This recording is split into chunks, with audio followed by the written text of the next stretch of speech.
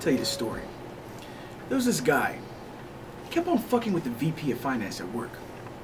At the Christmas party, the VP had four guys take him to the can, pants him, and shove a pencil up his ass.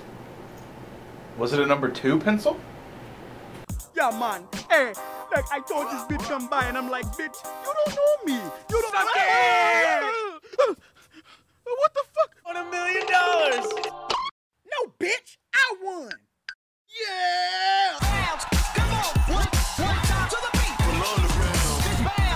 How you doing? My name is Chris Singleton, and I'm an actor slash artist.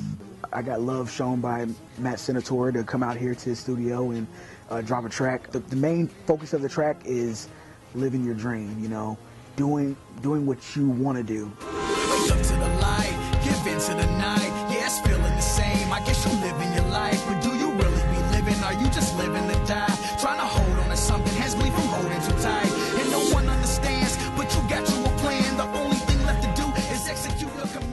Now off to our sponsors.